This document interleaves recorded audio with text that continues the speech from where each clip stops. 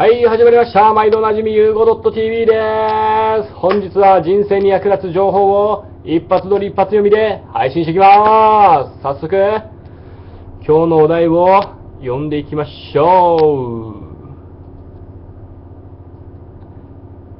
う。へっへっへっへ。あけちゃんバージョンでお届けしますよ。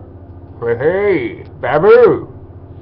今日のお題は、高すぎるハードルを乗り越える方法は単純。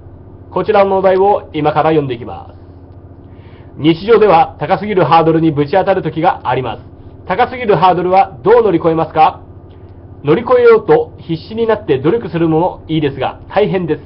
ハードルが高すぎれば乗り越えるという考え方を一度忘れ別の道を探った方がいいです。もっと単純で楽な方解決方法があります。ハードルをくぐってしまえばいいのです。上から攻めてくるのではなく、下から攻めます。ハードルが高すぎるほどくぐりやすいです。くぐり抜けるとき、頭だけぶつけないように注意です。高すぎるハードルは乗り越えられるという固定概念をやめることで突破口が見出せます。なんだ、それだけか、と思います。それだけです。人生とはうまくできたものです。今日の格言。高すぎるハードルは乗り越えるのではなく、くぐってしまう。なるほど。逆転の法則的な？そんな感じなのかな？うん。して、ちょっと思考を変えて、うん。